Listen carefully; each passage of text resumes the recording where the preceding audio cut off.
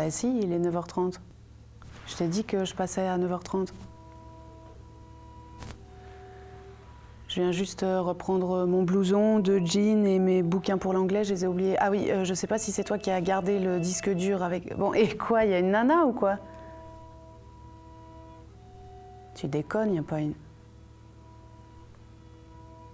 Tu fous de ma gueule, je suis chez moi. Tu me laisses rentrer.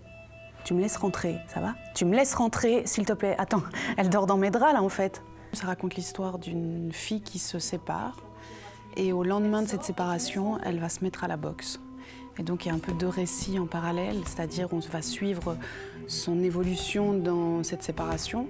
C'est un sport qui est vraiment très important pour moi et qui euh, m'a énormément euh, aidé et apporté dans ma vie euh, personnelle et même dans ma vie d'actrice.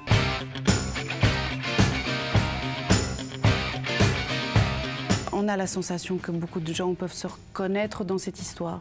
On a tous euh, vécu plus ou moins une séparation un jour dans sa vie.